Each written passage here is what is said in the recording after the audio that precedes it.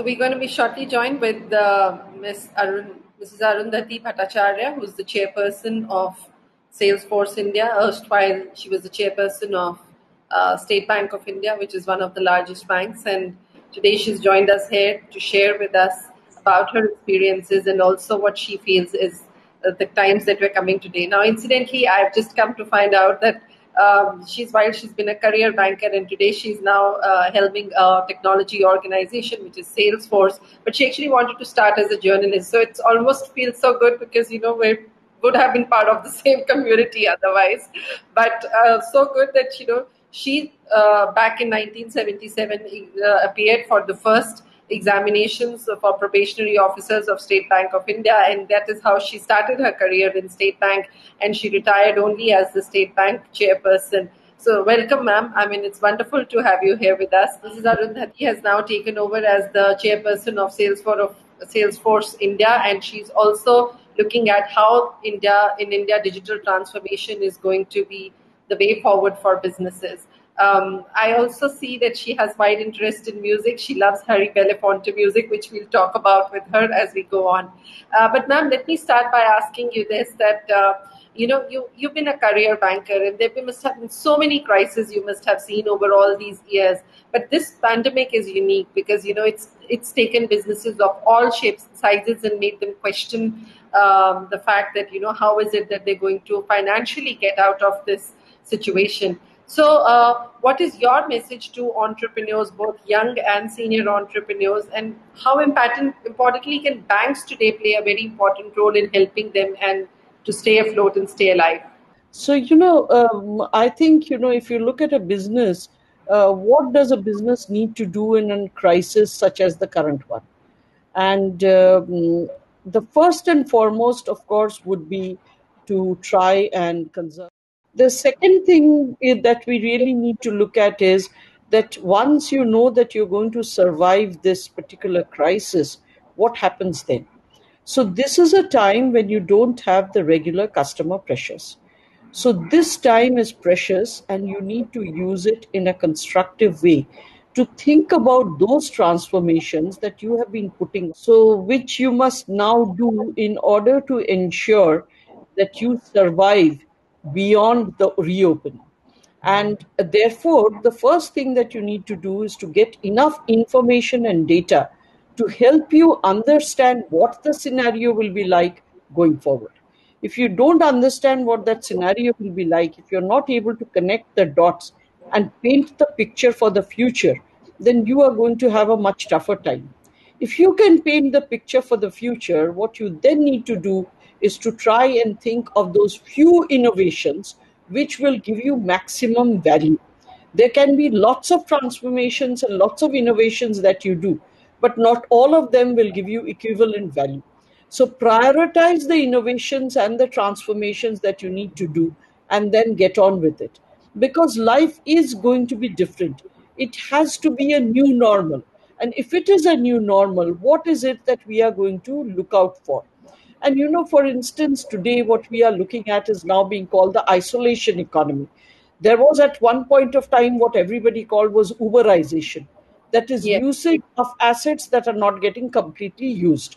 Okay, so you use it, more and more people use it, it makes it cheaper and usable by many people. But today it's the reverse.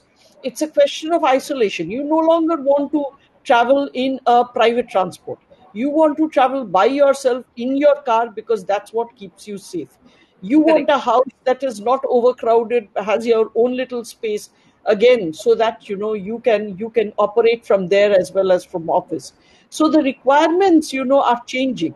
And once we understand that this is the requirement that will then become a new normal, then we will know what are the products that are required to actually address this. You know, the companies like Zoom, for instance, this particular platform that y'all are on right now, these companies that provide you with meeting capabilities are absolutely, you know, doing great business because that's what is required right now. Now, if you don't, if you are a company that requires to hold such meetings, do you have the right kind of platform? Do you want to build it yourself? Do you want to adopt something else? How will you get that in? How will you make those changes? I think, you know, any entrepreneur today, in whichever field, they need to assess their areas. They need to, first of all, ensure that they can survive this crisis and then ensure that when they reopen, they are primed for growth. I think that's the only way of going about it. Sure, ma'am. You just mentioned that, you know, today they need to look at transformation. But, you know, SMEs, when today they are feeling the pain of uh, actually doing business or not being able to convert their business uh, or make it happen, have sales, whatever. Um, so, you know, for them to think that, you know, uh, uh of a transformation then becomes as much difficult. So, do you think in some ways the government or the banks can support them, maybe give them an innovation loan or something like that, which could help them to get that transformation going? See, Have you seen the, such examples in other countries? Not really. You know, there was a time when we used to have something called Project Uptech in SBI, where we used to give loans for basically technology transformation. This was for industries that used a lot of capital goods. You know, the what is happening over here is that you know you may not need a transformation that needs huge amount of uh, of cap- capex. There are transformations that you can do which is not capex intensive. Okay, so today, even for instance, if you need to ensure that you are computerizing your entire system, there are ways of doing that without a huge amount of capex. Okay, so that is why I believe that you know I don't think you know it's, it's loans that we are looking at. It's basically a different way of doing things. And if you look at our company in Salesforce, we have a huge number of SME clients, and a large number of them are still investing, not huge amounts, maybe you know smaller amounts, but they are investing in taking forward that transformation. Now, to think of transformation as linked with huge expenses is not right anymore. There are many ways of doing frugal innovation, of frugal transformations. What I'm actually trying to really point out is that what you need to understand is what is the new future going to look like and what will be your response to it. Today, for instance, everybody wants to have a separate channel for communication with their customer. Lots and lots of people are doing it on WhatsApp. What investment does it need? It just needs you to put all of the stuff that you are selling and ensure that you are getting it out to your customer and then ensuring that the customer is equally able to WhatsApp back their their uh, requirements and then after that you know make payment so you just need a payment gateway doesn't cost you all that great an amount similarly you know there are many many things that you can think of as non-core activities can you give it off to somebody else to do at a far cheaper cost than what you would incur if you did it in house what about the supply chains do you have alternate supply chains so that if a certain portion of the country suddenly closes down you can go and get supplies from somewhere else. None of these need a huge amount of money. It's a question of mindset. You know, that uh, yes. this is the time I use to make myself resistant, more resilient to face such crisis. Okay? Sure. Um, you know, you've just talked about resilience, and you know, SMEs otherwise in India have known to be most resilient uh, uh, going forward. But today they have sort of uh, they are in double trauma so to say you know on one side it is about the disruption that is coming from technology you know wherein they need to move fast in order to get into a more digital transformation mode and secondly the pandemic itself which is not making them do business i mean by even if we are in an unlocked situation um, you know you don't know that tomorrow your people your teams would be coming to work uh, or not and how is it that things are going to change today uh, in terms of uh, SMEs being able to be more operational? What is it? So, what is it that you are doing at uh, Salesforce today, which could help uh, these small and medium enterprises, and particularly even startups today? Startup founders are in a very difficult situation because they they they were in the middle of customer acquisition. So, how is it that you're guiding them from a digital journey perspective to be able to make the most of uh, the situation that is and because we don't right now know how long it's going to last so you know we first started with what was known as a salesforce care package uh, where we actually you know told uh, smes that if it was required, then you know we could do something regarding spacing out their payments for a little while for the first three months. So you know we did try and support them in their activities in whatever way we could. Similarly, even today, you know, for those companies that would want to come on board, we could provide licenses for a little while, which they don't need to pay for upfront, but where the payments could be got later on. Uh, we also have a very active uh, SME group that uh, handholds people as they think through what could be the steps of their transformation. So, Salesforce basically, if you know, uh, started with SMEs. So, we were not an enterprise version of a CRM when we started. We started actually with the small guys. And even in India, if you look at the long tail of customers we have, we have far more SME customers than we have enterprise customers. So our effort always has been to try and understand the SME's business and then empower that SME to ensure that they do a good job of managing their uh, supply chains, managing their uh, dealer networks, managing their customers. And how do we empower all of this? That's what we try and bring to the table. Okay. So I think, you know, there is a lot of support that we have worked out for the SMEs. For the really small ones, for the really small, you know, we do a lot of work for the NGOs for that matter.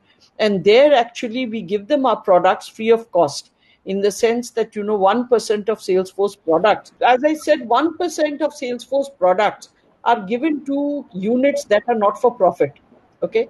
And we then spend uh, volunteer hours which are paid for by the company in order to teach those ngos as to how exactly they can uh, operate uh, on these licenses on these products that we have given them. So there is a lot of stuff that we try to give back to society. Uh, salesforce you know has a one by one by one policy. So 1% of our profits or equity 1% of our products and 1% of our time is actually given to the non-profit sector in order to help them during these times. So there is a lot that we uh, intend to do and we actually do with the small scale industries, with the people, you know, who set up the small units, with the startup community. In many a case in the startup community, there is a uh, there is again a unit called Salesforce Ventures. If the startup looks to be something really promising and adjacent to Salesforce, then there is a way in which we also seed fund them.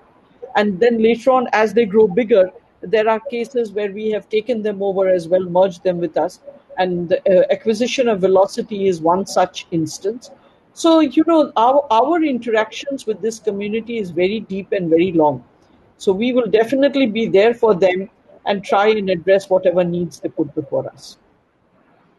Sure. So, ma'am, there is Abhishek there uh, who is asking that are there any, um, what kind of sectors are seeing greatest digital transformation at, uh, particularly at Salesforce, if there is some research or data for that, and you know how how it has really helped the businesses.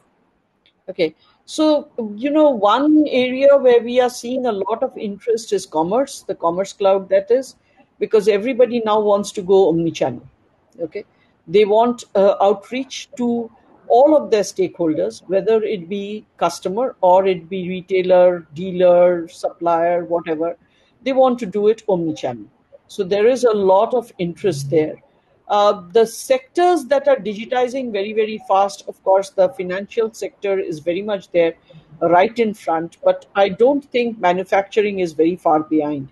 Similarly, with things like healthcare, almost every single doctor wants uh, teleconsulting video consulting currently okay? Yes so we are seeing we are seeing a lot of this happening in respect of the services industry as well where people are realizing that services actually can be delivered without having to actually go to the place where the delivery is required to be given okay? So i think you know we are seeing transformation in every single sector that you can possibly think of auto sector currently is very impacted, but auto sector is all, again another very big one which is going in for a lot of transformation. Okay, they need to also bring down their costs. They need to also be much more efficient. They need to be able to handle volumes. So all of that is currently underway. and therefore you know i think if you ask me about which sectors actually it would be very difficult to pinpoint you know every single sector. Utilities for instance again great users and great transformation taking place there. Most companies today are realizing that you know we have definitely and truly entered the fourth industrial revolution and if they are going to exist in this world they have to change. They have to become far more productive and efficient. And for that a transformation is important Sure. So, ma'am, there is also someone who's asked us, um, uh, you know, there is great digitization of kiranas which is being planned, and with, of course, Jio uh, looking to do it. I mean, how how do you see that probably three years down the line, kiranas looking different in terms of uh, their digital strategy? So, you know, kiranas already are in a way different because through the entire pandemic, how many of us actually went to the shops? I didn't have to go to the shop even once. I order everything, if either online or on WhatsApp. As I told you, WhatsApp is the most, you know, most frugal innovation that we have. So the person who sells me fish normally sends me a list of what is available along with the prices, and I send back what is required, and it's delivered to me. And I pay again on the basis of he has net banking, so I pay on the net. So all of it, you know, at one point of time, that activity would have taken me three hours. Okay, 45 minutes to go, 45 minutes to come back, and then you know whatever in between. Today it takes me all of 10 minutes, and the same job gets done. So you know, over a period of time, yes, the kiranas are going to look different. They are going to be able to manage their inventory. They are going to be able to understand which customer normally takes what and give reminders to the customer if that is not being taken by that customer at that point of time. They are going to be able to push new products to customers if they know customers use that particular type of product. So, you know, if you are taking, say, a, a, a particular, say, toothpaste, he is going to showcase to you that this company has come out with this new toothpaste. Would you like to take it? Try it. And here is a sample. Okay. So, you know, the kiranas are definitely going to look very, very different as time goes on. And uh, they will be far more efficient and hopefully they will be far more profitable.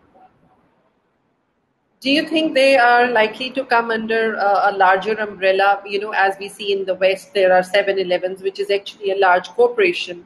Uh, and there could be franchise partners running stores. Do you do you feel that the our uh, very own mom and pop stores would uh, have a similar future in the coming years?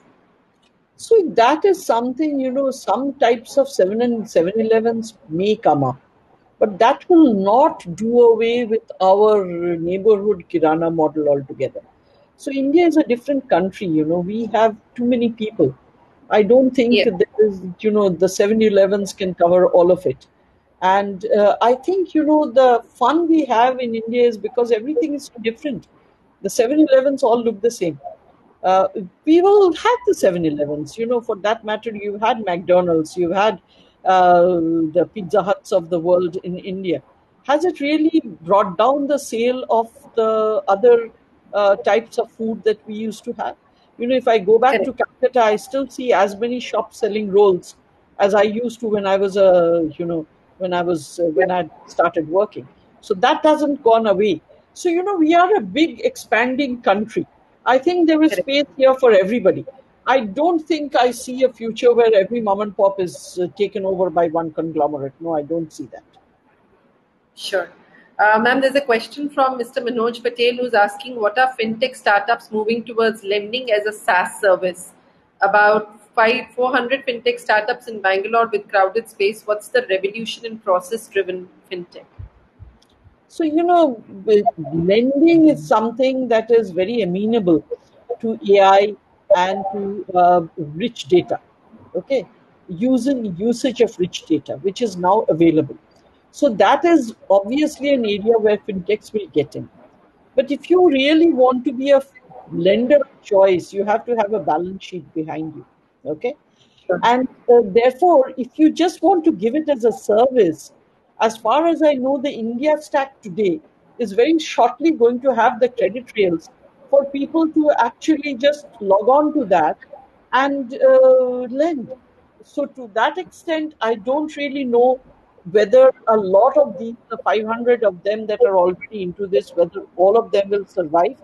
Some of them may get into a differentiated model and be able to make their space, but it is obviously a space which is very, very highly competitive. And it is also a space where you need uh, the staying power. You have to stay there in the race, in the game for quite a period of time. You need to go through various cycles if you're merely giving this as a service, then obviously you need to be able to acquire enough customers at the back end to be able to render that service to them. And that service, the back office people taking it, or the background, the people behind you taking it, your sponsors or your partners, will depend on how good your proposition is.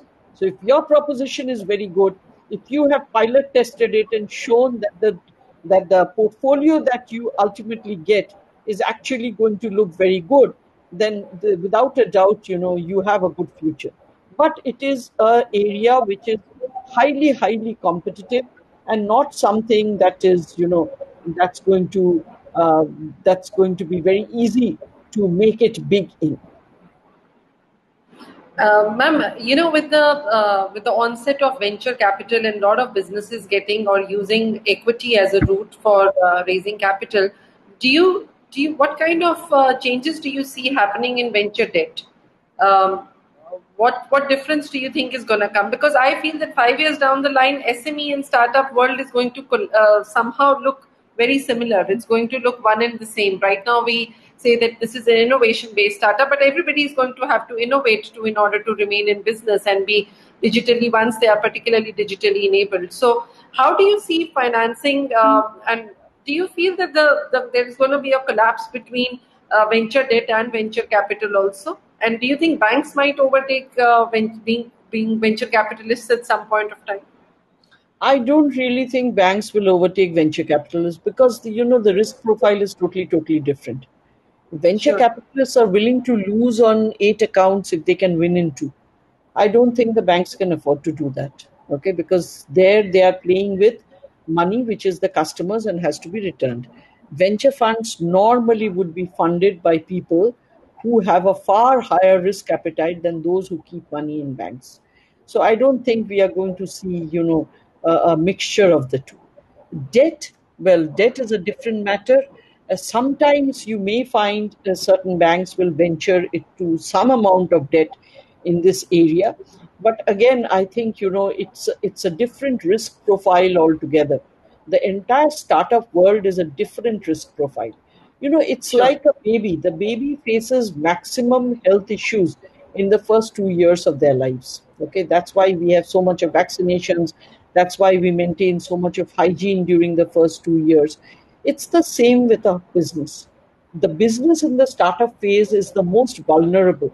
And frankly, if you've been an entrepreneur, any uh, possibility or any reversal that can happen, you have to start with the premise that it will happen. So, you know, there are huge number of challenges that startups face.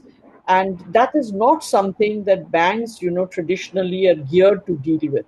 So, you know, the venture capital, venture debt area is really totally different. They are not going to collapse one into the other. No.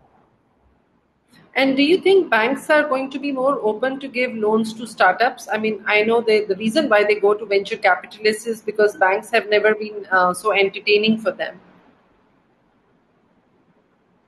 As I said, banks can't be because banks have a separate role you know, the people who put money in the banks expect to get the principal and the interest.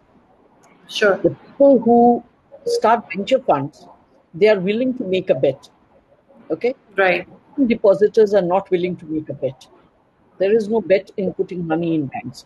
So the bank will look for far better risk. A startup is a far higher risk.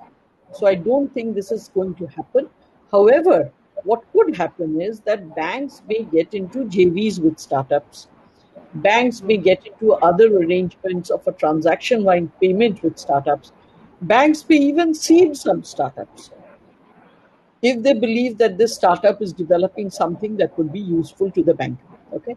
But sure. it would always be a very restricted portfolio. It wouldn't be something that is done as a matter of a policy or something you know where you you traditionally will continue to give credit to that i doubt will ever happen Sure, ma'am.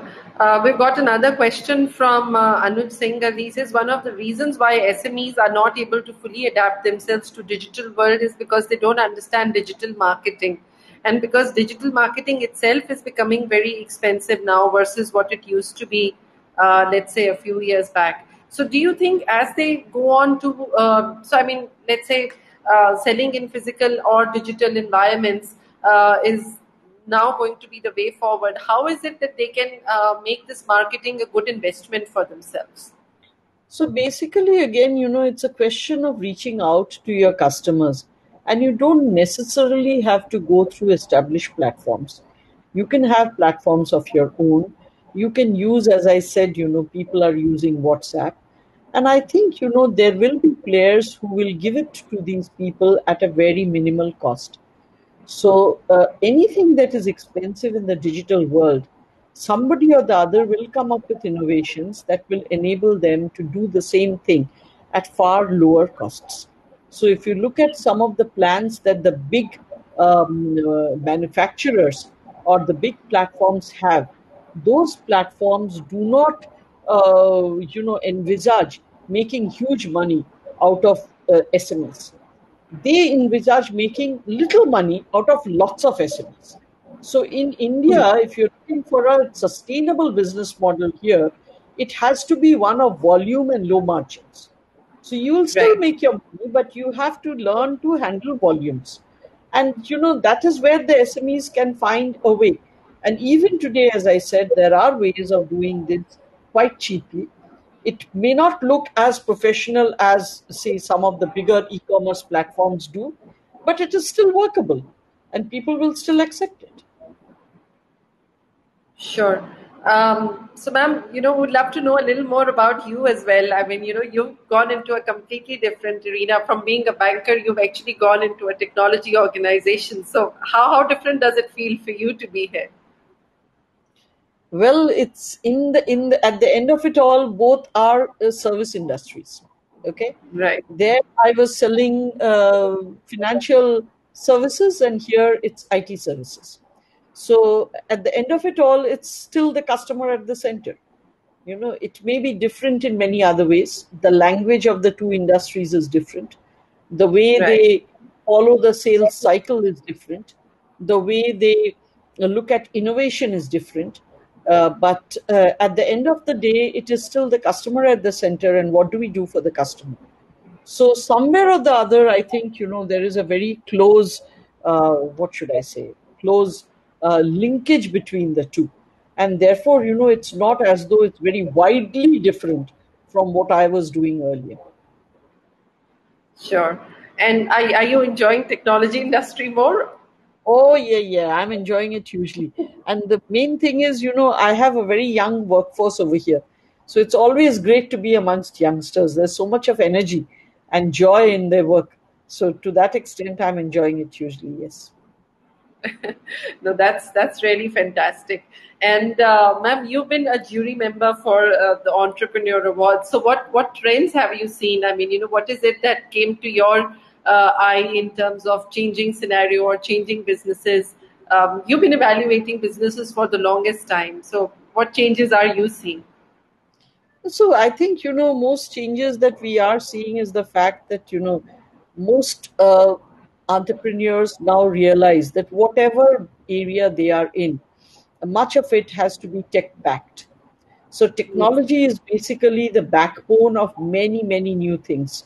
So, whatever be the new idea you have, you actually back it up with technology in order to give you that reach, that productivity, that efficiency, and that ability to sort of put in all of the information and then make something out of it. So, you know, the reliance on data and digital is huge right, right across. So, whether they be in health, whether they be in logistics, whether they be in manufacturing, whatever they are doing, I think these two things figure in the whole mix. Okay. Right. The other thing, of course, is that I think you know our country is extremely innovative, and there are quite a number of things that you know people think of in a different manner i was on another panel just you know 5 minutes before i came on to yours and i was saying that you know if you can solve for india you can solve for the world and we have Correct. seen that happening whether it, whether it be our aadhaar platform whether it be our uid uh, upi platform if you look at all of these platforms they are unique and they're unique in the world so I think, you know, for our entrepreneurs, what I would suggest is that solve for India. If you solve for India, solving for the rest of the world is far easier. And ma'am, you know, the prime minister is talking about uh, local, uh, vocal for local, and uh, you know, we've already seen examples in the world where countries are trying to be more, um, uh, you know, intrinsic. They are trying to build their technologies themselves, understanding their own problems. Do you see in uh, in India? I mean, you know, of course um, in some cases it may not be required at all but do you see a lot of technologies which uh, instead of looking at internationally we're going to build our own technologies going ahead